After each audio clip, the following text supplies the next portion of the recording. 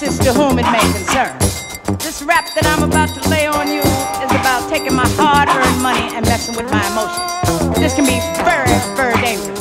I don't know what Shirley and Barbara's talking about, my man, but this will kill you quicker than anything in the drugstore. Can you dig it? Huh?